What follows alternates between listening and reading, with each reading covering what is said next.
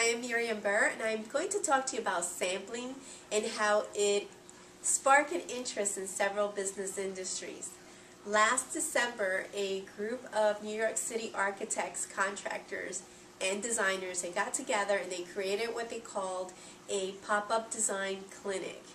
And what they decided to do was they divided their time and their money, and for a span of 10 days, they offer a public service by way of 30-minute design consultations. So they took an intangible and they reduced it to a sample size. And you can do just about anything. They had great success. Um, so I want to talk to you about sampling and the rationale of using sampling in your business. Now sampling is considered to be a way to overcome the fear of the unknown your customers.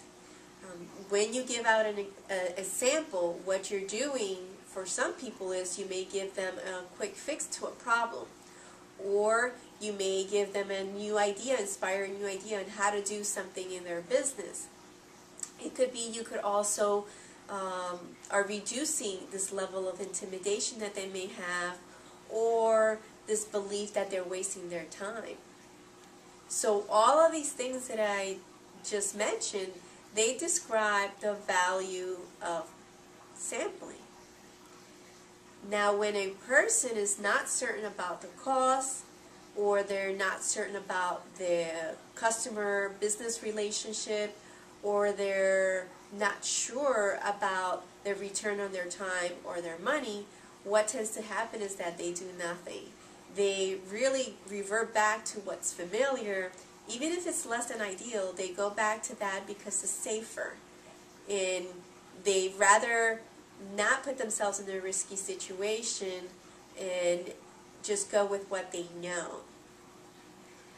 When um, we talk about samples, it can lead people to overcome hesitation. And we see it throughout the daily living.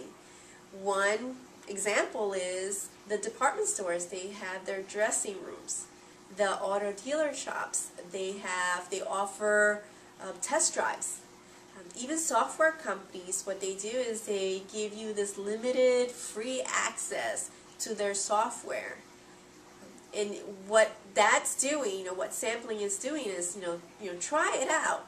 Try this, you like it, or try this, you like us as a company. So that is the rationale behind using sampling in a business. Now, when do you actually, when is a good time to use sampling? And one thing to keep in mind is, you know, when do I use sampling to inspire new business and when do, when do I just sell my product? Um, that I offer. Keep in mind that knowing your business industry and knowing the downtime can indicate when you can use sampling.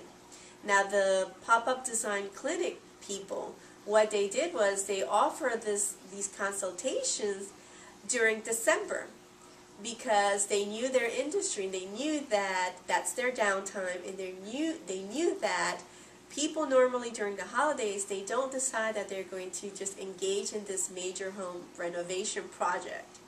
So it's a, it's a good idea to know the market and know the business cycle and you can best use sampling as a technique um, to inspire new business clients um, in, in your area.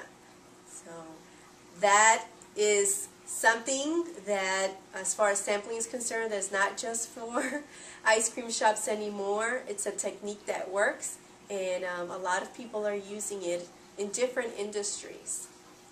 I'm Miriam Burr, and I will see you in my next video.